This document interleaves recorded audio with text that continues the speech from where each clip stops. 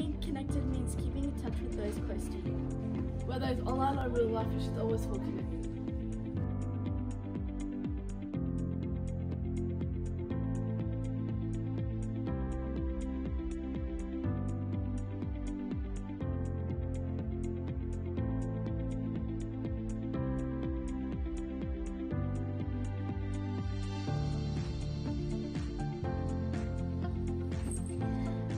Being connected is like this piece of string connecting Kushi and me together is making connections, building connections with people and that could be in the classroom, outside the classroom.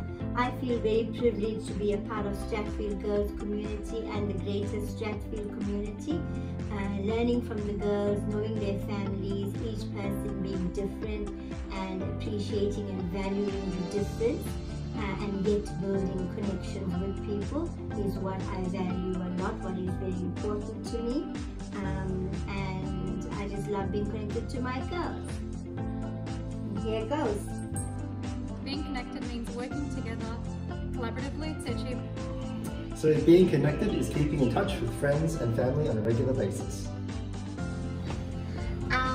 I think being connected means that we all learn in the same environment and we're all connected. Um, disregard um, our ethnic backgrounds or our cultural backgrounds. Um, I think that me being a language teacher is really nice because um, I get to see you know different cultures get to know about different cultures learn about it especially students in the same classroom from different cultures they're able to learn together in the same learning space. Um, and I think it's really nice that they're able to um, bring something from their own culture and to share.